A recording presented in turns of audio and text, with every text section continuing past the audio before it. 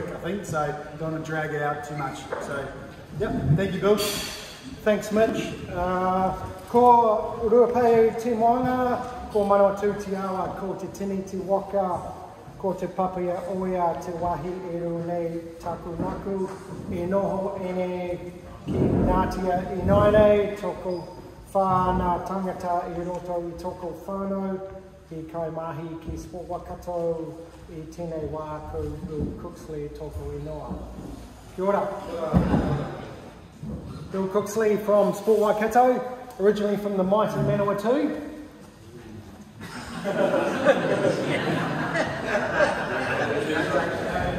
okay, calm down. Uh, now I reside just outside of in the wonderful Hauraki Plains. Um, and it's good for cycling out there because there's no hills. Unlike these Bike Mercury Bay people. Great to see some um, familiar faces and some people that I don't know that I'd love to have a connection with or relationship in, in the very near future, particularly as we move forward with this Tracks and Trails Forum. Um, I'll give you a little bit of background about Sport Waikato and our vision. And recently we've been through a massive change. Um, so we've still got this, this vision of everyone being out there and active. And that's through play, active recreation and sport. And that's kind of the mantra that we're looking after at the moment. And so why we exist is to increase the physical activity levels of people in the Waikato region through those play, active recreation and sport uh, uh, ways. And how we do this is by providing now high value strategic regional leadership in those three areas. What does it actually look like on the ground? Um, so we're, as I said, a strategic collaborative approach and a partnered approach throughout the whole region to influence the play, active recreation and sports system. It's not us doing the delivery anymore. We used to do a lot of delivery. We've worked, walked away from that. We're now into communities helping themselves. Community driven, it's been mentioned before. Okay, so we're helping and advocate support and influence those that are doing the delivery, of which there are a number of you in this room that do that. And we're guided by our strategy, which is called Moving Waikato. All right, and I can put this, I'll send this uh, presentation I've done through to Mitch and he can forward it on to all the invitees, all the people here, and um, we'll put that link in there so you can have a look through that. We've particularly got to focus on our tamariki and rangatahi, so that 0 to 18 years age group. We understand that there are other age groups, obviously that uh, also need to be, we provide support and advocacy and some regional leadership around that, but that's our real focus for us at this moment. We're increasing the quality of experience in the play, active recreation and sport area. We're building capability, as mentioned before, helping communities to help themselves. Really driven by insights and data and research to help and advocate groups make uh, informed decisions, particularly when it comes to funding um, or uh, building or for spaces and places. And as I mentioned before, working in partnership and collaboration. Specifically though, my role is as a regional connectivity coordinator and I work across three districts, so that's uh, Thames Coromandel, Hauraki and the Matamata Piako districts. Um, and my role is to support the play, active recreation and sports strategy formation, implementation, as well as review. So an example of recent work that I've done in this area was the uh, development and also the adoption and uh, presenting to council the recently adopted June 2020 Sport Active Recreation um, plan for Thames Coromandel District. If you're not aware of that, come and see me afterwards, um, or there's a link on the TCDC website for you to have a look at that as well. Uh, other part of my role, advocacy for opportunities that address inequities and increase participation, particularly for those that aren't currently participating. How do we make it easier for people to do stuff that they want to do? I would suggest that in this room, majority, if not all of you, are already doing some form of regular physical activity or recreation throughout your week. So I'm preaching to the converted a little bit, but it's the other people that are in your communities. How can we make it easier for them to do stuff so we can increase their activity and their participation levels? Um, regionally, there's four connector roles, and um, we've also got what's called a play advocate in our role in our team as well, and he's working specifically with Hamilton City Council within that play space. So that's a little bit about me and my job. Um, but before I go any further, I just also want to thank you for what you do. There are a number, I should imagine, thousands of volunteer hours currently sitting in this room, okay, that you just go in and do your stuff, but from a region perspective and a Sport Waikato perspective, thank you very much for the time and effort that you put into what you do on a volunteer basis. You might be here as part of your role, as part of your job, but I'm sure that you do volunteer stuff out and about um, in the community as well. So thank you for that. And thanks Mitch for putting me on after lunch as well. Um, I think this is a fantastic opportunity to get everyone together and uh, we also do need to be mindful that it's not just a talk fest, that there are some actions that come out of this. Okay, and I think Mitch is going to workshop that afterwards, so it's really cool. So I've been asked today to come along and share some um, concepts and examples with regards to providers collaborating. And that's really in and around, a, a, I suppose, a hubbing concept and working closer together to achieve a common goal. You look at this map up here, it's a fantastic opportunity to get all the different groups together. Thames Mountain Bike Club is one, you know, Whangamata Ridges Mountain Bike Club is another, Bike Mercury Bay, even the Hauraki Handlebars, which I'm a, I'm a part of, in the Hauraki District, Coromandel Ride Coromandel, to get together with a shared vision on how can we make this better. Rather than operating in silos, how can we all join forces and actually advocate from a collective voice so that we can get some action done? So I'm going to provide a couple of examples on some hubbing concepts that have happened or are happening currently. As we are very much aware, problem is the participation numbers throughout, I suppose, organised sport and throughout physical activity tends to be dropping.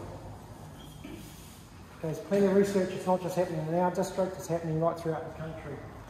And there's actually uh, more of a push towards recreational type activities when it's in our own time, it's low cost, some pay for play type scenario. So the traditional membership, for want of a better word, tends to be dropping. So how can we leverage that opportunity in terms of offering better recreational type activities? Any questions so far? Is it a problem for people don't have organised sport, stop organised sport, stop rigid sport? Is it actually a problem? No, no, it's not a problem. No, it's not a problem, Felicity, and that's a really good point. Okay, I guess the problem is just highlighting that um, that our traditional thinking around or oh, having a winter code as such and then a summer code, we need to change our thinking a little bit around that. So are activity, physical activity levels dropping, or is it just the participation in organised sport that's dropping? Physical activity levels throughout the Waikato region have remained stagnant since 2004. You're talking about age group or? Right across the board. 54% of the Waikato region's people were physically active enough for uh, health benefits in 2004. 2014 it was 46. 2017 18 it was back to 54%. So it's trying to target those others. Right. Um, so sometimes it's harder to pitch, uh, hard to picture what the future holds. But what we do know is the sport and recreation sector is changing. or needs to move with the swift changes that have been happening in our society. Okay? Pre-COVID though, interesting that within Thames Coromandel district, um, where are we? Uh, so even, even before that pandemic, biking events are rated in the top five events in the Thames Coromandel district, and that's through Active New Zealand survey data. Okay, so biking events, all right, and walking is one of the top activities throughout the Coromandel district. So how do we leverage that opportunity further? And there's our participation profiles that we have available that, um, once again, I'll send the links through Mitch for you to, uh, people can have a look at those participation profiles that we've done for all of the districts throughout the Waikato region. So we talk about this hub- hubbing concept, um, and there's an increasing number of examples, uh, with some good evidence of many benefits when combining their resources, and I guess that's the, the angle that we're looking at tomorrow, uh, today, because we've got these different groups throughout the Coromandel Peninsula. How do we start thinking more collectively together to achieve this common goal of potentially a trail? I'm just surmising here, a trail that starts in Thames and goes right across the Coromandel Peninsula, ends, ends in Coromandel or ends in Whitianga, and then you can ride it back. So a massive loop that goes around as a, a track and trail. So um, here I've got a little video. It's about 10 minutes long. Okay. Um, whilst it is sports specifically based and based around our venue, it'll hopefully give you an idea in terms of the concept and how they went through that process.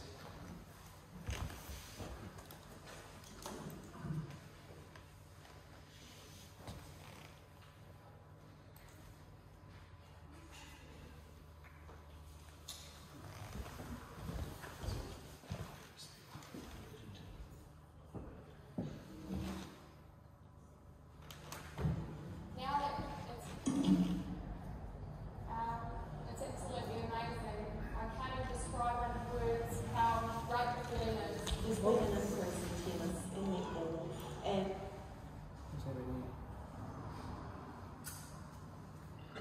Sorry, Tim.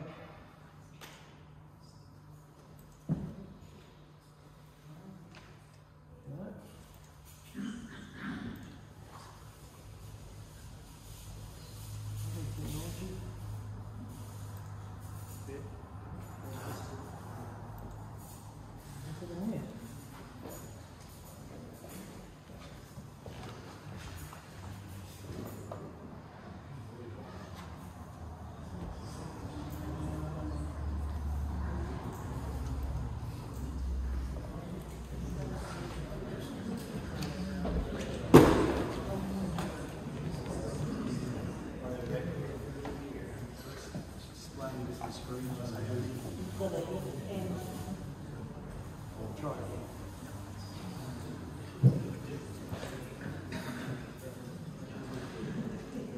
is it presentation? Can you find it just on YouTube?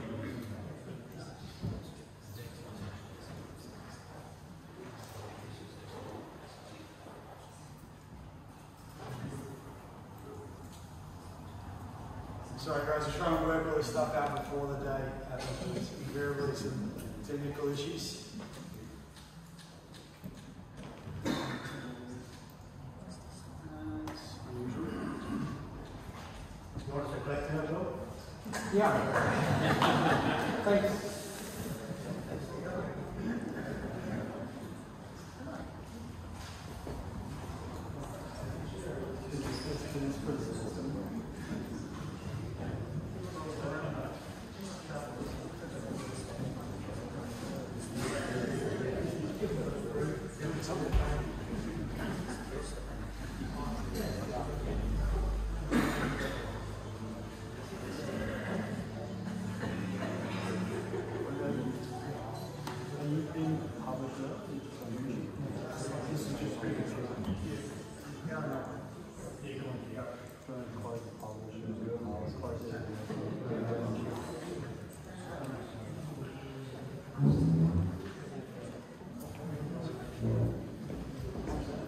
Um, you'll have a display setting all up on the second screen.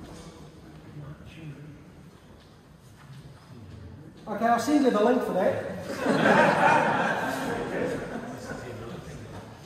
So, so that was a really cool 10 minute video. I just, I just made it up. Sorry about that, team. Was it, was it from Manawatu?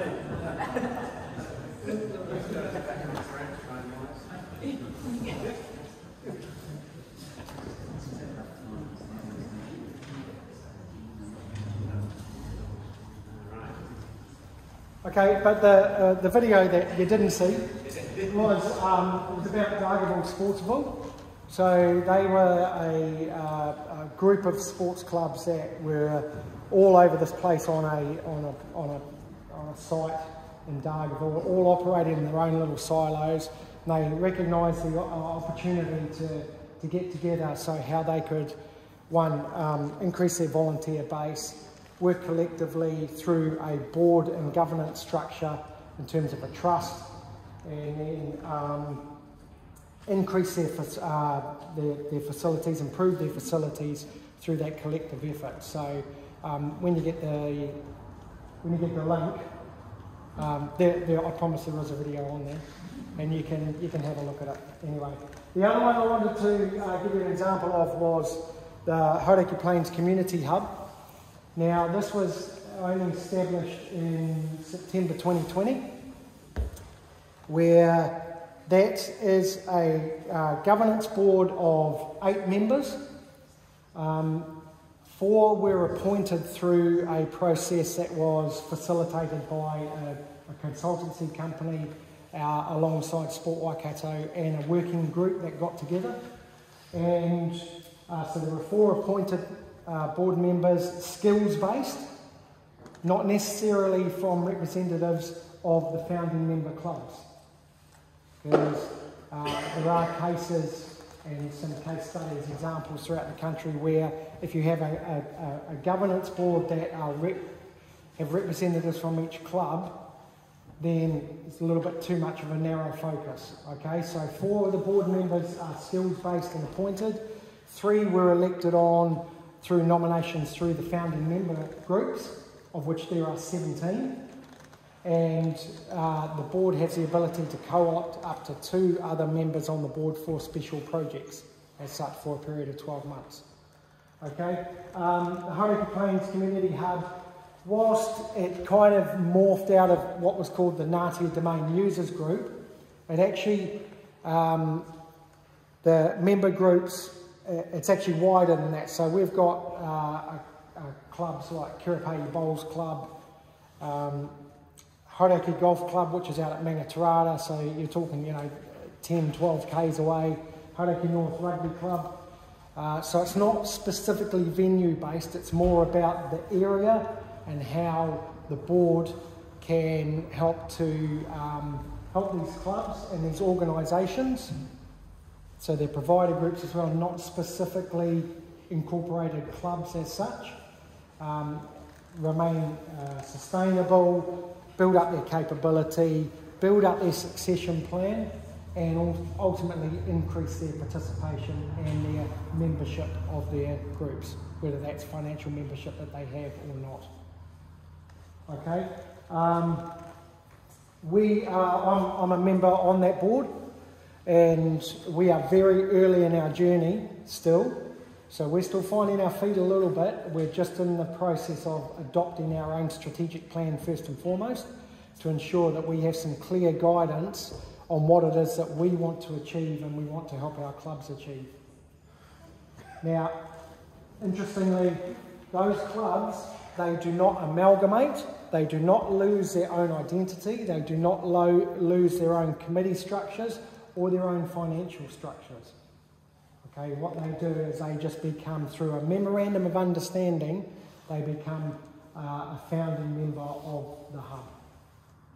The hub's benefits in the long run are to ultimately take a lot of that stress and I suppose a lot of that administration and that work and that volunteer work required off of those committees to um, help them purely concentrate on delivering their sport or their activity.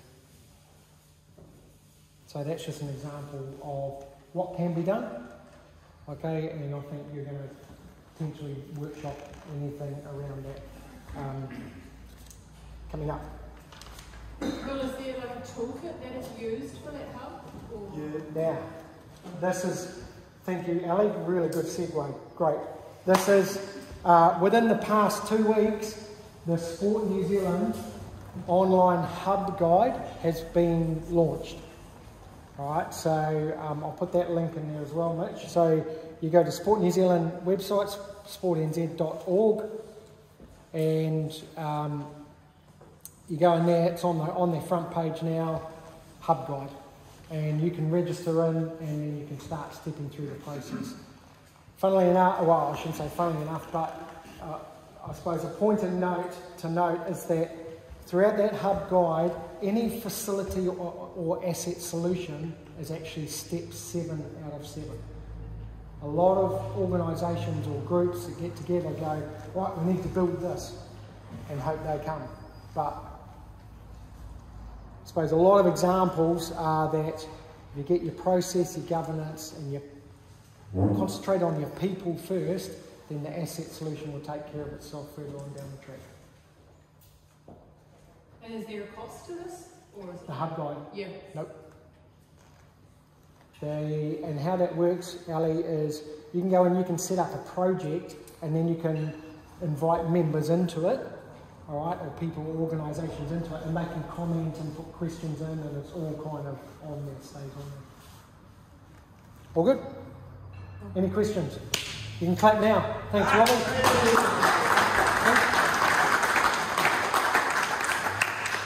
Sorry about the technical issues. Oh, we always like to try and. Any questions? Have you done any influencing of councils around promoting activity? So councils are often given their that they want to encourage recreation, but when push comes to shove, they're more interested in trees and vegetation, as opposed to us being.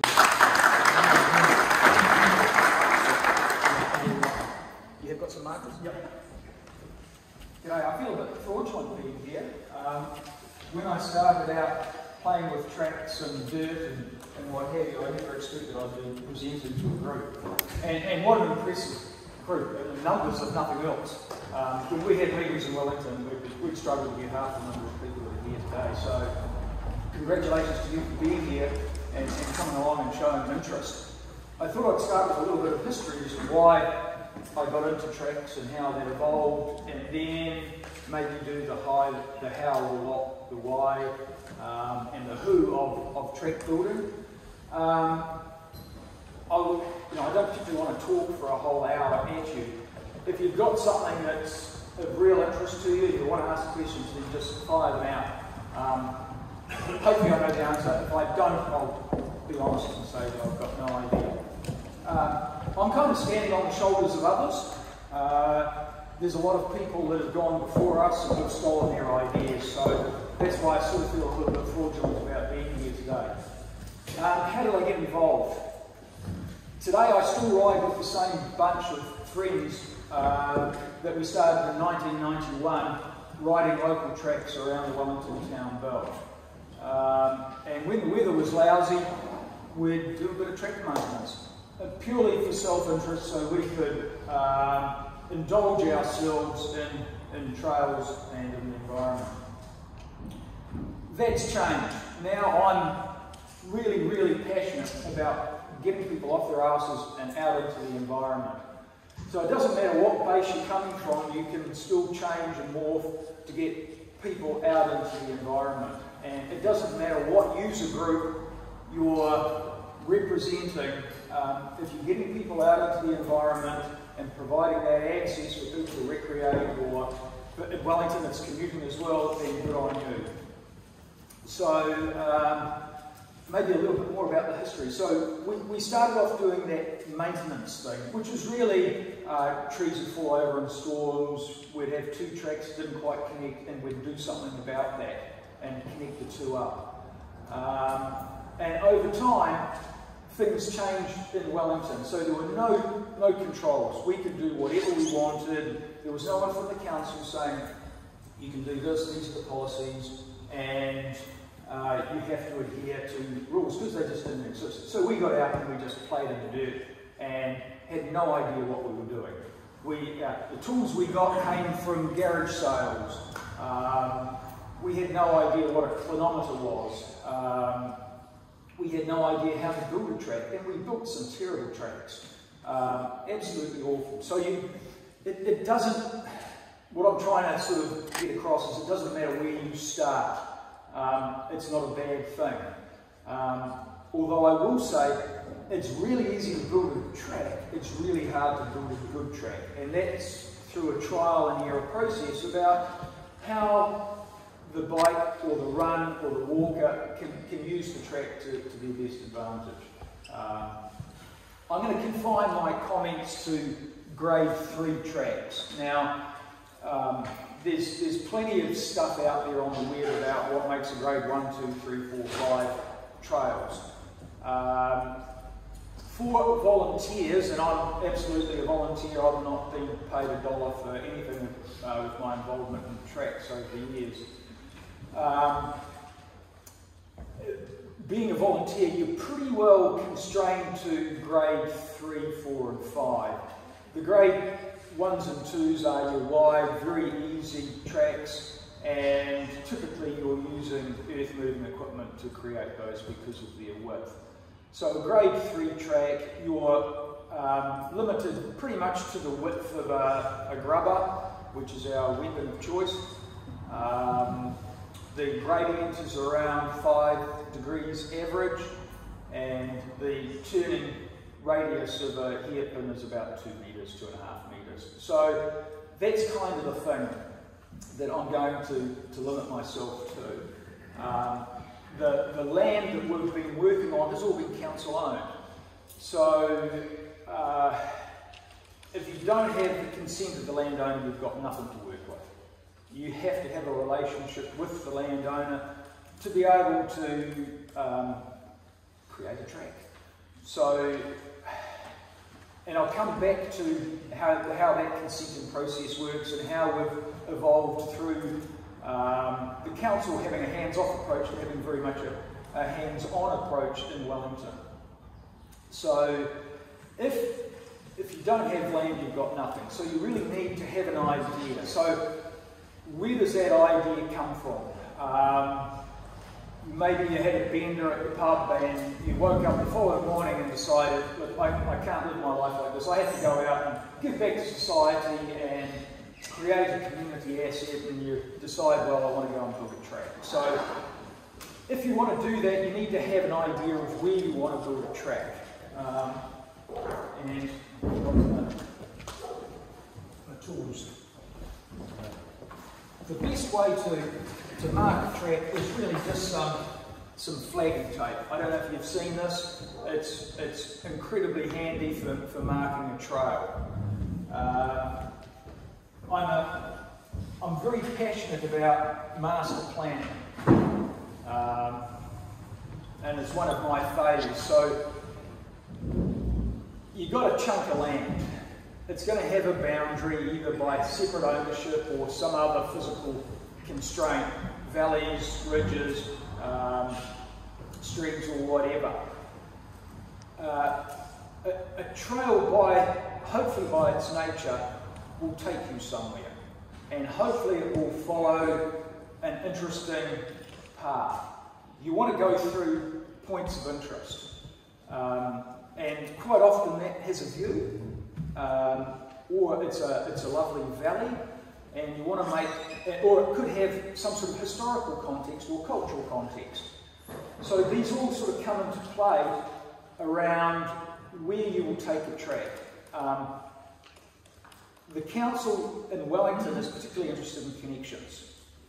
So it needs to take you from somewhere to somewhere else. And if you can create a route that goes somewhere of interest, so much the better um, because you want to you want to have something that's of value to your trail users, be them walkers, runners, um, or cyclists. Um, and there is an interplay between those different groups, some good, some bad. Um, in Wellington, we have a lot of bitchiness going on with dog walkers at present. Um, before the dog, dog walkers were the scourge, the mountain bikers were the scourge. Um, so it, it, does change over time, and I've, I've got every confidence that the e-bike is going to be the scourge of the future.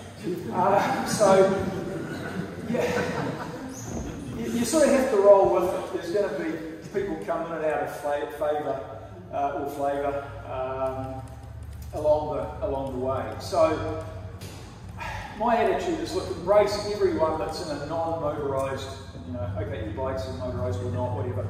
Um, they're out there enjoying nature, and that's what really the, the essence of what we're trying to encourage is getting people out there and having a, having a blast and enjoying nature. Um, there are so many podcasts you can listen to around exercise being good for uh, longevity and all of those other things. And um, I, I, I don't think there is any issue with councils encouraging people to get out there amongst it. There is a caveat though, because in the user group that we deal with in Wellington, there are the hands-off group that don't want any development whatsoever. So, the, the, I guess the learning there is there is no way you'll ever please everybody all of the time. Um, and that's a truism. And, and that's where the council or the regulatory authority need to step up and um, sometimes they've got to make the hard decision and um, make a call. Are you, are you going to appeal to the small group that don't want anything?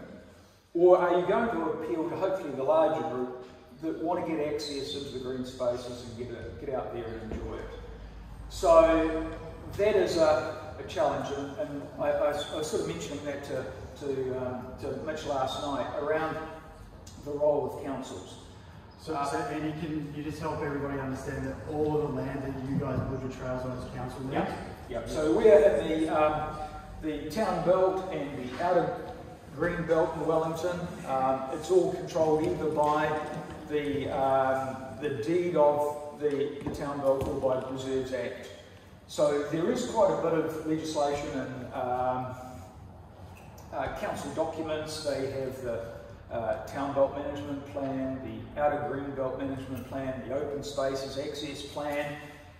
Uh, so yeah, the barriers are greater if you're starting now in Wellington than they used to be. Um, and it, it, it, it's a challenge to get your head across all of that documentation and which document applies to what you're doing. Um, and just out of interest, we're going through a, a process now of um, getting approval for maybe 50 kilometres more track in the outer green belt in Wellington. Um, our group personally, uh, Brooklyn Trail Builders, has built about 18 kilometres of track, all hand built. Um, so we're trying to step it up, and I'm looking at that 50k of track is my retirement job, unpaid. Um, so hopefully that that will come to fruition, and we'll be able to get stuck into that, that new stuff. Um, I'm just trying to think where I got to before you asked the question. So I guess it was um, that relationship with council and, and, working with them and how that's changed over time. Yeah. So originally the council were hands off, now they're very much hands on. Um, and, and, I can't say why why that is. Um, maybe they've figured out that we're actually producing quite a good product and they want part of the action or not, I don't know. Uh, it, it, it should be a match made in heaven. The councils are really constrained now financially. You've got a volunteer group that are happy to create a product at no cost to the council, you would think that would be a perfect solution for, for everybody. It's not. Because, because you have members of society who do whatever they do, and you have people that break laws, you have people that object, you have people that don't want change. Um, and that becomes challenging. So the, the council can get one complaint and the council will have to respond to that complaint and an inordinate amount of effort goes into responding to that one complaint. By way of example, someone complained about the use of waratahs in the town belt. We can no longer use waratahs in any of our construction and it's a, it's a pain. A, a waratah is a is a fantastic tool for driving into rocky ground to retain wood to support a track edge. And we can't use that anymore because of one complaint. Um, the, the only risks I saw with Waratahs is they rust over time, now they come galvanised, so go figure. Um, What was the nature of the complaint? they just thought it was inappropriate that Is a Waratah, thing or is yeah, you know, you, uh, uh, it, it could be because of the exposed end, yeah, but we always put a, a cap of wood yeah. over top um, and nailed that into the retaining material, so there was never a risk of, of ripping the skin. Um, and that was a better way than, than putting the, the yellow things, which are just visually awful, um, and I hate that. So Um, I assume that that person who complained is now volunteer? I wish. um, so, you know, it's, it's one of those curious things where you get this weird response by council and, and they don't recognise all of the good that we do. And, and I would like to think that that's just not a biased view because, um, yeah, we're on Facebook and we get a lot of feedback through Facebook. The, to me, the best feedback is when I'm out there on the tracks and people stop and talk to you, um, which is a real pain when I want to be working on the tracks and you've got to stop and, and, and chat and try and be polite. Um, I have to get better at that and I'm not very good at it, so um, there's a learning there for me. So, uh, the, the whole thing with um, dealing with councils is fraught. You just have to front foot it and, and do the best you can. Um, build relationships with the, the officers um, and, if you can, with the elected officials. So, over the years, rightly or wrongly, I've got to know the mayors of, of Wellington. And the current incumbent mayor is, is well known. He showed up when he was a councillor working away uh, and he'd join us on, on working bees. And he's a, an active runner. He's a terrible rider. Um, sorry. Um, that's Andy, Andy Foster.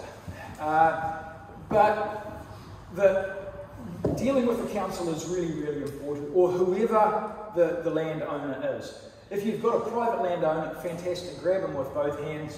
It'll be so much easier than dealing with a, a regulatory body that is bound by a lot of rules through the consultation process. Um, and, and all I can say is just hang in there and just keep at it, uh, keep ringing them up, phoning them, meeting them on site, letting them know what you want to do, um, because that's the only way you'll get the, the access to do the track builder.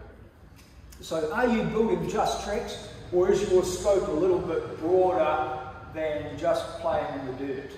Um, so one of the things that we've stolen from Makara Peak is a bit more of a holistic view.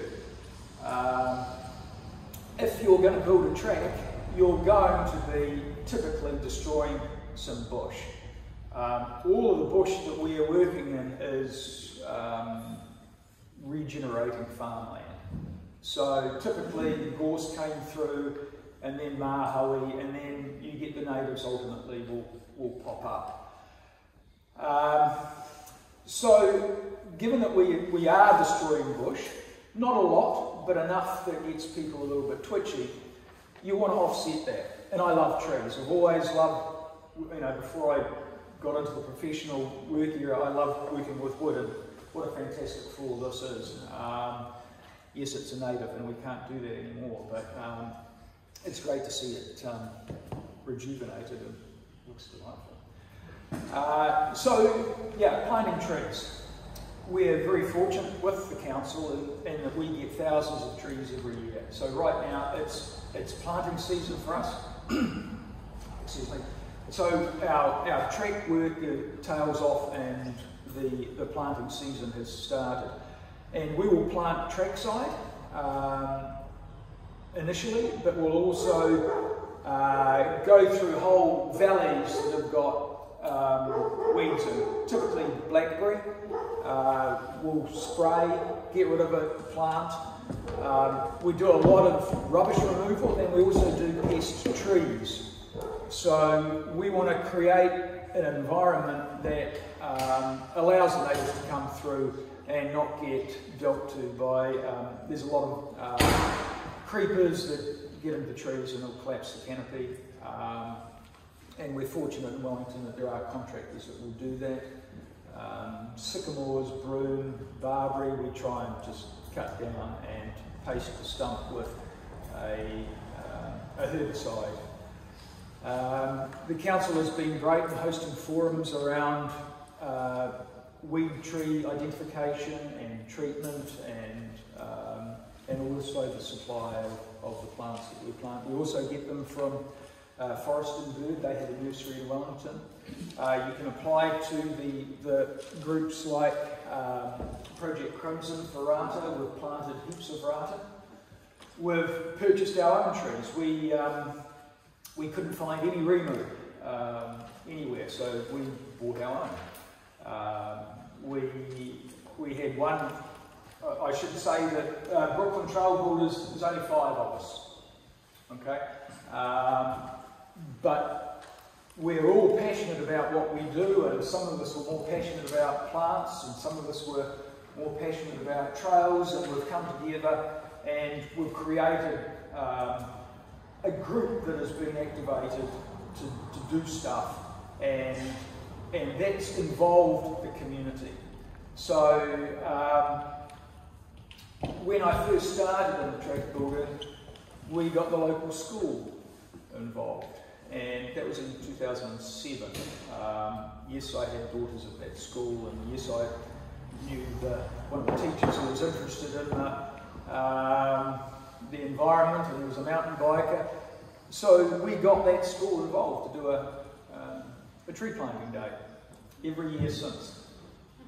They've been planting trees. So in 2007, those little trees that were planted are now um, decent size, you know, two, three, four metre um, trees. So, and some of the kids have come back and and seen the trees, and it's and it's quite cool that, they're able to uh, see the product of their labours, and and that's just one group. Um, we've used a lot of corporate volunteer labour. Um, so tap into that if you can. It might be a bit tricky in, in the Coromandel, uh, in Wellington, we do have a lot of corporates that have a, uh, a volunteer day as part of their, um,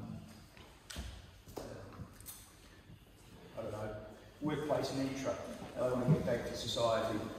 So that's been, pardon me? The greenwashing That's, that's, that's a fair call, yeah. Um, is it lip service? Well, yeah, it probably is. Um, but hell, we'll just grab that labour and use it. Um, you know, they don't necessarily do a very good job. And if you are, if you are running a volunteer day, don't expect work. You are there to look after the volunteers, show them what to do, and then tell them again and again and again. And I'll, I'll digress now um, and just explain what I mean by telling people. Um, so that's your side slope. If you want to build a track, you want to come in here. I'm quite good at doing the, the half benching sort of thing. Um, a half benches means you're not cutting into, if you're doing a whole bench, you'd come all the way out here and you'd have to move all of this dirt um, and then discard it down the side of the track. Sorry if you can't see that at the back. Um, I, I prefer the, uh, the half bench because it has less of an impact on the environment. You're moving less dirt. Um, a lot of people complain, or some of the council complain, that you are building up this area here and that doesn't provide a, a, as good a foundation. Over the years, I've just, you know, I'm, I'm not a scientist in soil, but it's worked for us and, it, and it's worked, we've demonstrated that it works all over the place. Um, so the, the point that I'm, I'm getting to eventually is what do people do? Human nature is a weird thing. When you, when you give them a green bit of, or a, a, a natural slope, they want to start at the top. They always want to start up here and work down. The, the problem with that is they then bring all of the vegetative material. So all I'm trying to do is to get them to get rid of that top layer, anything that's going to rot. You want to get rid of that because if you have that underneath your track bench, it's going to retain moisture. And moisture is your, your devil incarnate in any trail. Um, and I'll come on to the um, water control later if I run out of time or not. Um, so you'll just repeat it till you're blue in the face that you want people to start at the bottom of the slope, below where you want the edge of the track. So you're going to start way down here, and they're going to start pulling down the vegetative material progressively. So over time, you're going to build up your vegetative material below your track bench and create a hollow. Then get some of the good dirt and put in there and then stand on it. And then you progressively work your way up, pulling more of this vegetative material down and down, and then this material comes um, comes in to create your, your bench. Now,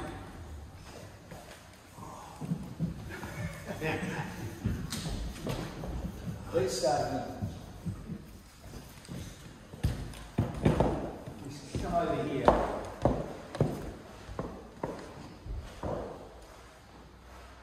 That would be how I would like a side profile of a track to look. You've got a very lazy batter, okay? Why? The, the alternate, what a lot of people do is they'll have a vertical face here, and then it will go on to the natural uh, contour. If you've got a, a, vertical face, several things happen. Um, to me, it, it, it clashes hugely with my eye because you don't really have a vertical face in nature. Um, other things happen, and, and, ultimately over time, this is going to erode and drop material down onto the, the track bench. It will also have, you have water coming down here, it will drop and um, create erosion at the, at the toe of the, the track. You'll also have that's a really cool plant there. Uh, you get vegetation growing and it'll grow into the track. So the further you can drop that vegetation edge back, the better off you are because you'll have less future maintenance. Maintenance is, when we started building tracks in Wellington, they said, you build the track, we'll maintain them. Then they wised up. They said, you build the track, you maintain it. Um, and they were very wise in doing that. A, they didn't have any money at all to, to do the maintenance. Two, we build a better track now because of that maintenance obligation. So you, you've got to be really careful around what you're building and, and making sure you're building it for the future and for reduced maintenance in the future because you really don't want to come back and revisit it time and time again, which is what we are doing right now. So you're pushing that, pushing that edge back so you've got a nice relaxed batter. It sits in the environment a lot better. You're pushing back uh, the vegetation edge. Um, if you build a vertical edge like that, you can't use this area anyway because your bike has, has handlebars and you've got a, a natural angle there on your bike um, or if you're running your, your arms, whatever. Um, so you really want to drop that edge back. Um, and I get weird about it. I rake that way so you can't see the, the strokes of where my rubber has gone because I want a really smooth edge there. Um, so avoid any straight lines, any, um, if you can introduce curves, fantastic. Um, similarly, you don't always have to have an edge like that. By the way, that's a fantastic area in the future to harvest naturally sown seedlings. The seedlings love growing in that area, so one, two, three years down the track, pluck them out and plant them down here. um, because they just love growing there because there's nice, there's generally water and um, because you've got this catchment area here and the birds will do their thing and drop the seeds and, and off you go. You've got your own natural nursery everywhere you breed a track. Just on that point, that is one of the really common complaints of the naysayers for building tracks is that you're creating a, a weed corridor, um, you're interrupting the flow of, of, of fauna. Um, they are correct to a point. I've never found the weed corridor one held any water whatsoever. Um, they might be they might be correct it. It does provide a barrier for snails and whatever to get across. Um, but it's it's to me it's it's at the you know the, the slim end of the scale of reasonableness for for, for stopping um, access into the green spaces. Um, so that's sort of a, a, a reasonable side profile. Over time, your track will wear and you'll get a, a compression from use. You just can't avoid it. It is going to happen over time because um, you're, you're dealing with an uncompacted product typically because you are a volunteer and you don't have the machinery. Um, and the best way to deal with that, well, there's two ways. Um, if you have access to imported gravel and you've got the ability to pay for it, do that. So it's expensive though. The last quote we got was about 25 bucks a lineal metre to bring and lay imported gravel. It cuts your maintenance burden hugely by having a really solid base. The, the other alternative we've used is we quarry natural rock and we armour it and we just physically smack it in. We've got stompers. Um, it's just a, a, a, big handle with a flat plate and you just smack the, the rock into the track surface and that will provide a really good surface over time. It's still not as good as imported gravel. Some people hate it, it makes a weird noise. Ultimately though, you'll get leaf litter on it and you won't know it's there. To the point now where we have to rake those tracks to get it back to that gravel surface because the, the accumulation of leaf litter over time gives the impression the track is really soft. It's not. Underneath is a solid, solid base. Um, so that's kind of a, very quick track 101 and I started with trying to get volunteers. You're, you're dealing with them at the bottom end. If they start at the top, they cover up the track with vegetative material. It's just going to rot. It retains the water in the track surface, and you're going to get puddles and holes. Um, the track will take longer to dry out, which means it's you've got a bigger gap between when people are using the track, um, and that just creates damage. So if you can get the water off the track, um, so much of it. Pardon me? The corporate volunteers would be good for carrying rock. Yeah, they are, but they hate it. they love, they like doing all the, the nice stuff, um, planting trees and, and creating mayhem. They love cutting down trees. So maybe I'll digress there. If you've got a, if you've got a track, um, as you know, I'll go back I'll go back uh, to actually creating an alignment for a track. So you've got a track, um, you've, you're in your master plan, you've got a start point and a finish point. They are the most important. What happens in the middle doesn't matter so much other than you need to make sure it's feasibly possible to build a track there. So I'll go through with this, I'll rip a bit off, and tie that to a tree at level. Oops. Uh, this is a clinometer, and you just sight through it to the tag in the tree. You wander down the bush, and you stand next to another tree, and you're sighting through it. Five degrees is your average, okay? If you go less than that, fine. If you go more than that, it's okay for a short distance. Don't do it for too long. the, the, the track will not be sustainable long term if you're going more than five degrees. Um, you know, even at eight degrees, that makes a big difference. Um, it's, it's harder to run on it, it's harder to bike up it. Um, if you're biking down it and people brake heavily, they'll skid. Um, it just doesn't work that well in the environment.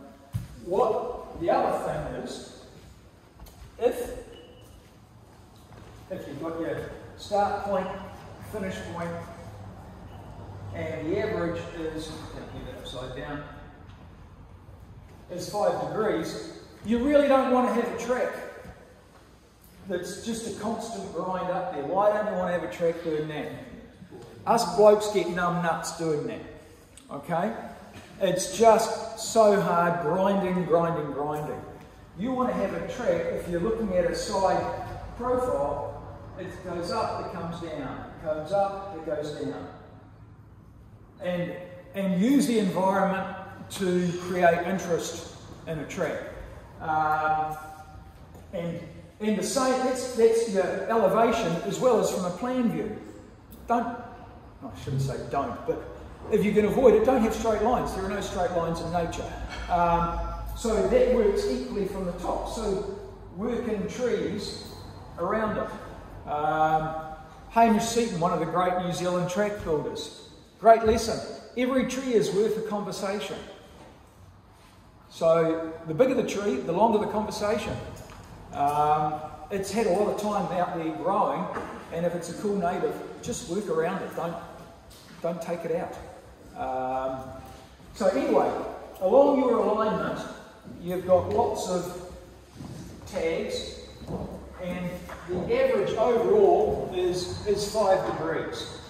Um, but when you get volunteers on the ground, unless you tell them exactly what to do, they'll just go mad with a saw and they'll cut down everything. So after you've, after you've figured out the track is feasibly possible, then depending on your consent with the landowner, you'll go back and do a more detailed track. And if you've got volunteers coming afterwards, tie these either side of the track so you're creating a corridor. And then tell the people, don't cut down any trees that have got one of these around it. Um, so you're dealing with the stuff in between, and you'll have these every four or five metres, depending on what, what your ground is like. Um, if they're going to cut a tree down, get them to cut it at sort of yay high off the ground. Um, and with the foliage, take it all the way, all the way down, so you can't see it on the track. Um, there's nothing worse than um, it's sort of like after the track's built, you're riding through and you've got a, a graveyard full of dead trees. So take it down through the through the scrub or the bush or whatever you've got, and hide it lower down the slope. And then with the stump that you've you've dug out, um, oh, before you dig it out, if you leave it a, a, decent length on it, then, you, then when the volunteers go around the base, they've got some leverage to pull the thing out with. If they cut the stump down, you're doubling the amount of time to get that stump out of the ground. And an objective I have with a, um, a grade 3 track is there are no roots on it. There's nothing that will cause um, a, a, a, hazard for, for slipping or skidding your tyre on. You really want to bury all the roots and look after the trees as well, as well as looking after the, the track, track users. So that's kind of a, um, a, a, quick one on 101 on, on the sort of things to do with, with a volunteer group. You really don't get much opportunity to work if you're looking after them and trying to control um, this massive humanity that are just going through the bush wrecking it. Um, and typically you'll have to go back and work on that.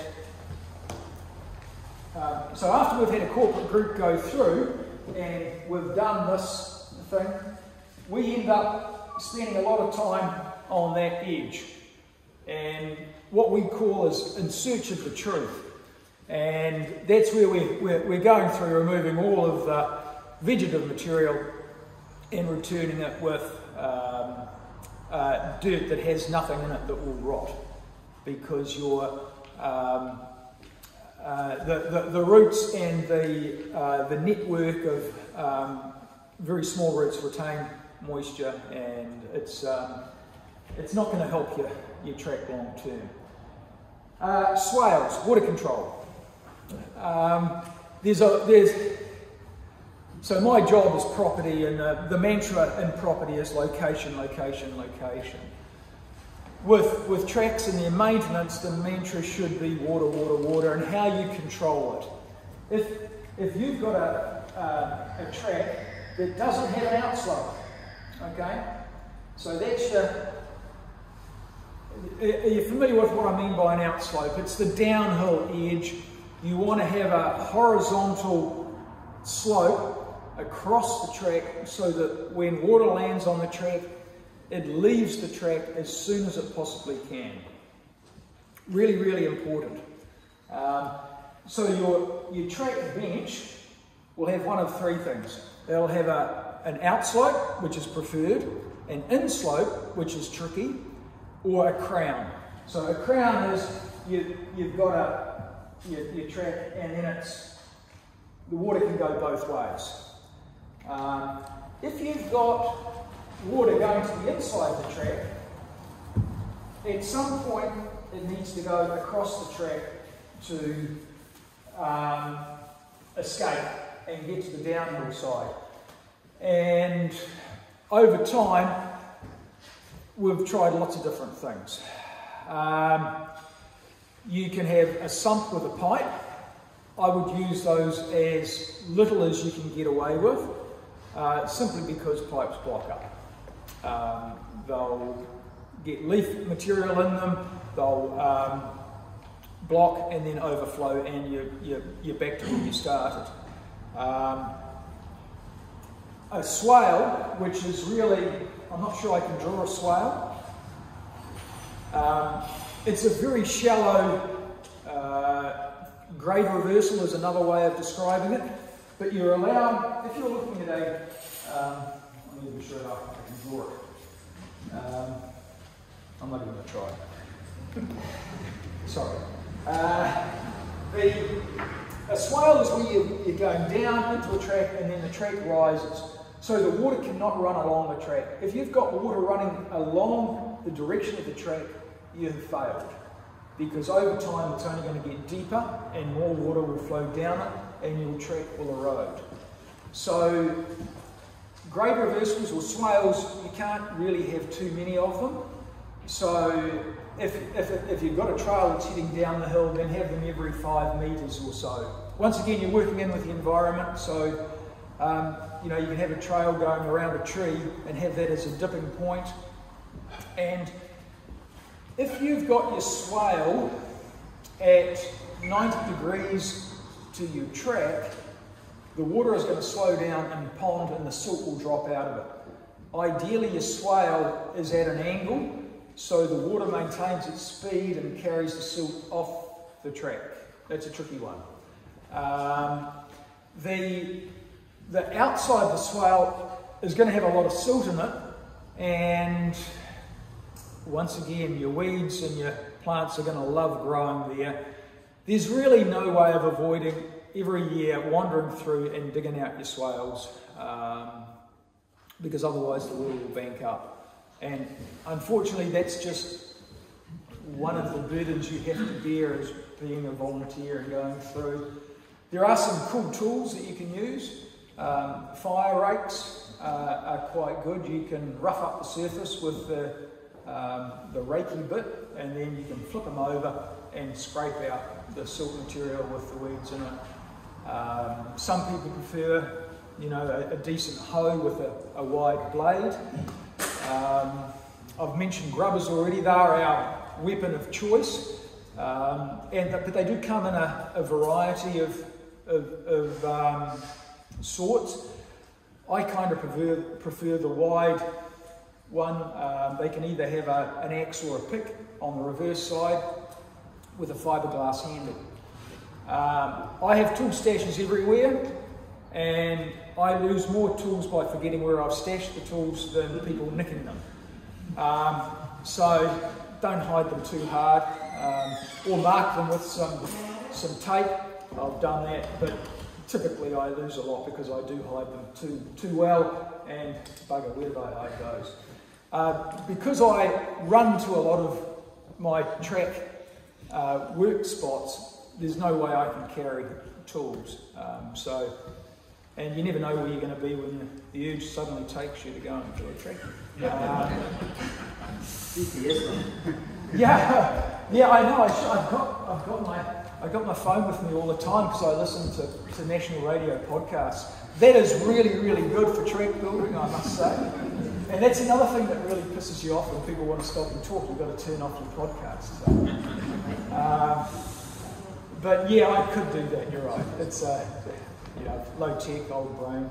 Um, Um, how do you maintain illegal track builds in your area? Um, they are always out there and they're insidious. Um, the best way I've found to block an entrance is plants. Um, carpet bomb it with good natives, make it obvious that the natives use a protector. Um, it's a little bit like um, street murals. You know, you don't get tagging on on where people have invested a lot of time in creating beautiful murals on walls, whatever. They don't tend to get tagged. It's a little bit like that with where people can see fresh planting, they don't typically want to ride over young natives. Um, so that has been a, a, better way. You know, council will always put up fences. It's, it's so easy to get around a fence. Uh, it's really destroying the, the, the bench um, and encouraging the illegal track builders to, to come across to the light side, if you like, and, and, and become engaged with um, track building. I mentioned before we've been out to consultation for 50k of track. One of the areas we set aside in that area, in that um, 50k is, is multiple tracks in close proximity and the idea we had there was for anybody to come in and build on those tracks. It wasn't really controlled by us. We were providing uh, an area where others could come and do their own thing and hopefully that would be an area um, or a, a, way in which we could mitigate illegal track building. But there'll always be kids, there'll always be self-interested people, and I'm one of them as well, that want to do stuff just for them um, and muck it up for others. Um, yeah. How do you fund the, the maintenance of the building of the track? How do you get money? Um, when we started, we just paid for it ourselves. We've never had really a problem with money, and that might sound odd. Um, the, the, you know, I've got to do a shout out for Ground Effect. I've always used their gear. They have a slush fund, uh, maximum of thousand bucks for a project. I'd get in amongst it, um, apply to Ground Effect. That will get you uh, a set of tools that will kick you off and, and start you on a, a project. A thousand bucks doing that is marvellous. Go to your local hardware store, see if they'll give them to you at cost, and um, you can leverage money from that. Um, to try and get money where you don't have a project is really hard. So you've got to do the mahi up front, get a project, get something that you can advertise, be it on Facebook or wherever.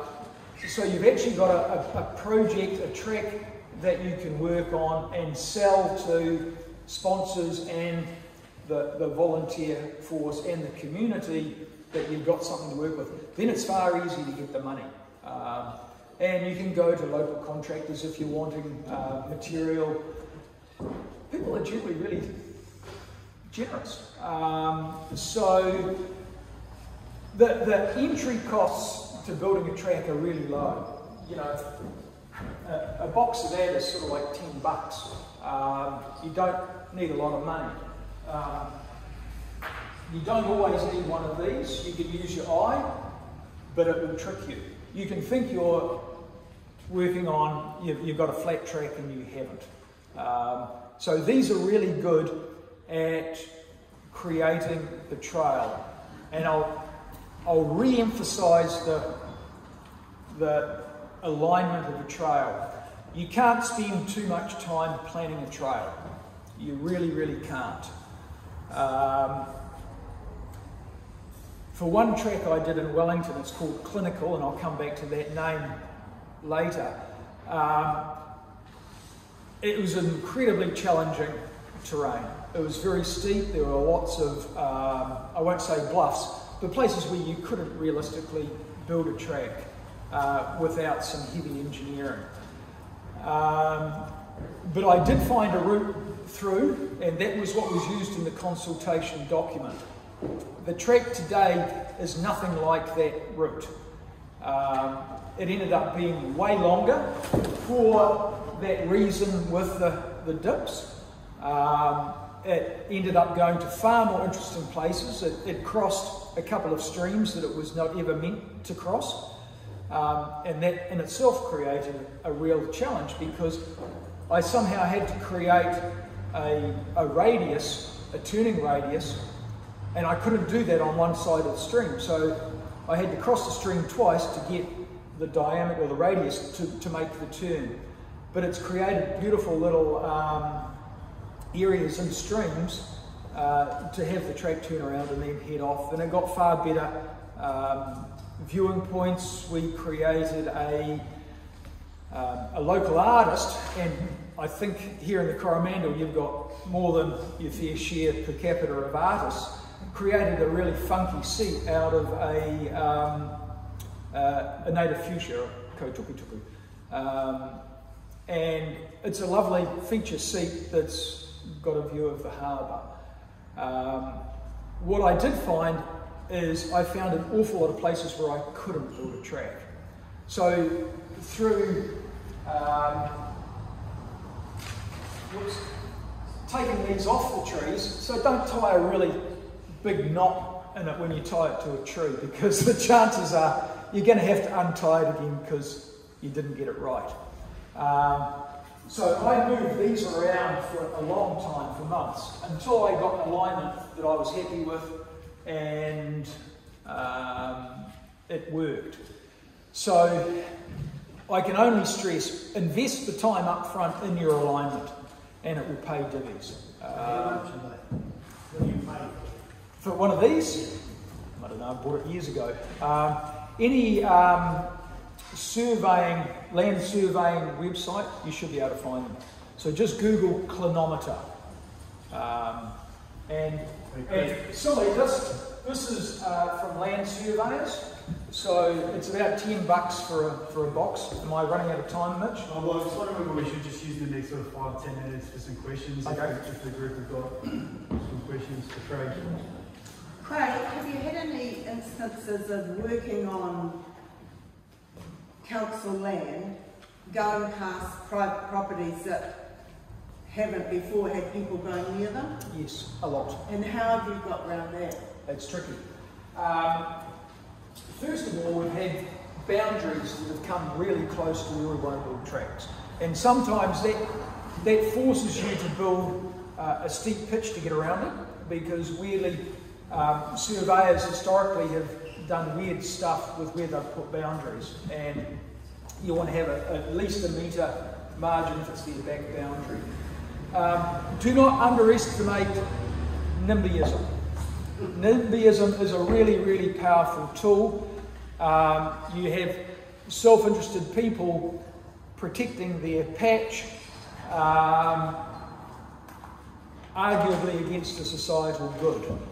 Um, in Wellington, we live next to a public walkway that accesses the ground, the, the green belt. I think it's great. Weirdly, others don't. They, they don't want people passing near. Um, so we've got a track right now where um, it's a walking only track and the the person who is objecting is a mountain biker who's been using our track network for years. He loves it. He's um, donated time and uh, product to it, but he's still complaining to the council about a track being just off their back boundary. So um, I have talked to him and said, look, it's not even going to change. The council have consented it. You purchased the property after the consent had been issued for it. Use your sway to get a decent barrier there, and we can drop the track so the walkers aren't visible. Touch wood. You'll hear them. Um, so, yeah, there's no easy answer. Um, it's it's just human nature. That people will complain if they don't think there is a benefit in it for them. Um, another sort of related instance, is there was a zip line proposed for um, Dumpland, weirdly, in, in Wellington. And um, the, the group that were organising the zip line, um, one of the directors gave us our first donation decades ago. Um, and it was through those relationships, and they asked us if we could support their zip line. It ended up going to the Environment Court, and um, I was meant to speak at the Environment Court. Unfortunately, the people opposing it were my good mates. Um, so I couldn't really do that, but I got one of the other Brooklyn Trail builders to, um, to appear instead. And it is really tricky because you have people with vested interests in their land and they don't want others, even though it's a, even though you have a rule book that's written by the council encouraging recreation in those spaces. It's, it's a challenge. And, and I would think, talking to the people sooner rather than later, please avoid going to the Environment Court. It doesn't work. Um, the costs were hundreds of thousands of dollars in that one. Don't do it. Any other questions? Yeah, what about iwi consultation? Yeah. You were working on council. Uh, it's a new one. Um, track naming. Um, is quite a interesting one now with um, uh, you know typically a lot of trails have been built by males and they want to name tracks in weird sexist inappropriate ways and that shouldn't happen it should have it should have some meaning with um, the, the local area. It could be historical, it could be cultural. Um, we had a meeting with the, the local iwi hapu, oh, maybe, um, it was within the last year. And I asked a question, you know, would, would you call us the kaitiaki of the land? And he said, no way, you guys aren't. No. You can't, you can't claim that. That's not, that's not for you to give to yourself as a name. You can call yourself Manaaki, which is, a, which is an entirely different thing. Um, and, you know, uh, Manaaki Whenua. So we were at that meeting, so Brooklyn Control was, was there with Polhill Protectors, which is a, a group that used our network for traffic. So they've got a, a track every um, 50 metres along our network to um, eradicate um, you know, weasel stoats, possums, rats, mice. Um, and the bird life, uh, it's in the Halo area next to Zealandia, is impressive. Very impressive. So if you're in Wellington, um, sing out, I'll take you for a bit of a tiki tour. And um, the bird life is quite impressive. So yes, iwi consultation, don't underestimate it. Um, they can be a, an active partner. Um, and I, you know, I, I, certainly know of instances where um, it hasn't worked with iwi. Land, in a cultural sense, has quite a different connotation um, than in a, um, a European sense. You know, it can be owned and sliced and diced. That's not necessarily the, the, the same with, um, with, with Maori iwi. Um, they have far more. Um, well, it's a, it was more of a cultural link, and it's an esoteric thing rather than an asset thing that um, I might I might think of it. So uh, if you can if you can use uh, cultural names, um, our our most recent track has a Japanese name, Ikigai.